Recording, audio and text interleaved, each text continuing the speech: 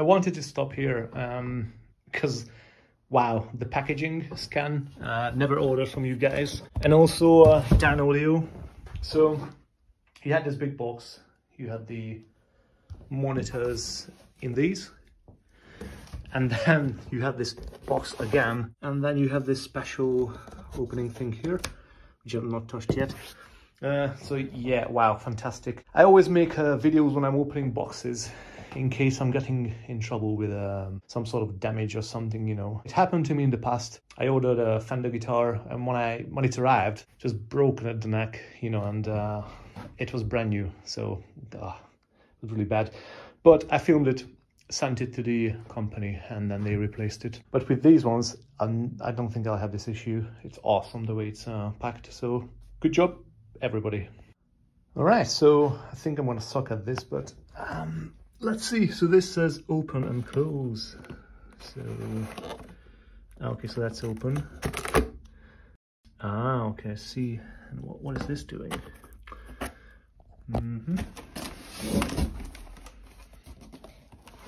Yeah, I think uh, probably I need to cut this open. Okay.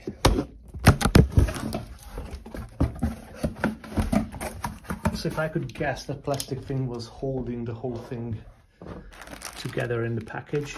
Um, wow, nice touch, nice feel.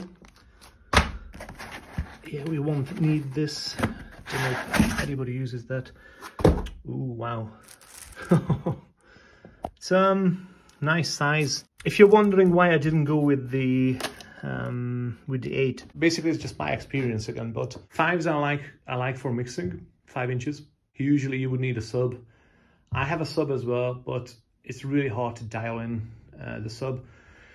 Sixes are okay-ish. Eight usually is nice. It's nice and strong, but my issue is always with the mids. And when you are using an eight uh, on its own, I don't know, I'm just missing the mids uh, usually. So that's why I have gone with the sevens. Uh, the sevens usually just work. You got everything nicely balanced. If I were to buy the the 8s, I would have bought the LYD48s, you know, the three-way version.